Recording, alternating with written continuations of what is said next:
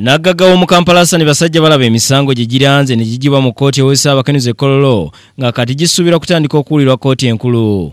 Kino kiddidde omulamuzi wa kkooti ow'essaabakanuzi irene akankwasa okusazaamu okweyimirirwa kwe n'alagira byomera ono okuddizibwayo ku meero eruzira basajja balaba badde alabiseeko mu kkooti okusomerwa emisango ebiri okuli ogw'okwepe n'okusasula emisolo gya gavumenti mu lukojjikojjo egibalirirwamu obuwumbi bwa siringi amakumi abiri eza kampuni ye eya haba group hasani basajja balaba ne muganda we muzamiru basajja balaba. Emisango egibasomeddwa bagyeganye era bino bibadde bikyagenda mu maaso. Omuwabi wa gavumenti silivia kavuma n'ategeeza kkooti nga bw'afunye ekiragiro okuva ewa ssaabawabi wa gavumenti. Ababiri bano baweerezebwe mu kkooti enkulu. Gye bavunaanibwa kino omulamuzi irene akankwaso wa kkooti ew'essaabakanuzi n'abalyako ekololo akitadde mu nkola bw'atyo n'abasindika eruzira nga gye banaava bagende mu kkooti enkulu nga bweri beesazeewo.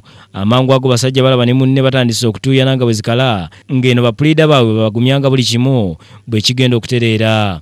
Nagga goona alabise nga simativu n'ekisaliddwawo bw'atyo n'atandika okufuuweeta segereeti ku kkooti mu lujjudde nga tewali amukomako ekintu ekimenya amateeka. Abadde akyagenda mu maaso ne zireeta abasirikale b'amakomera okumutwala kyokka n'abeegayirira abasajja basooke bamulindeko. Amalirize kyabaddeko ne bamuwuliriza. Oluvannyuma asiibudde ku b'eŋŋanda ze n'atwalibwa mu kasenke ka kkooti awakuumirwa abasibe nga wano. Wajjiddwa n'alinyisibwa mmotoka y'amakomera emututte eruzira mathias rukundo yakusakidde gwino okwa bukedde tv